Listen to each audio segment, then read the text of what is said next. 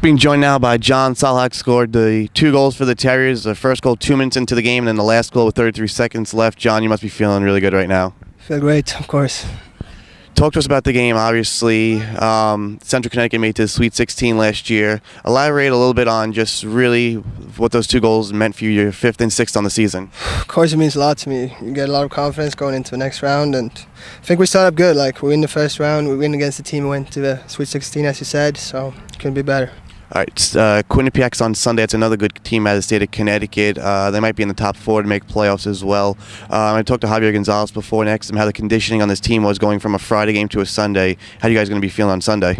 Uh, same for every team, so I'm gonna feel good. I know that. Just stretch and eat good food and get a lot of sleep, so you're good. All right, that's John Sallhag scored the two goals for the Terriers and the two to one victory over Central Connecticut State for the Terrier Sports Network. I'm Nick Guerrero.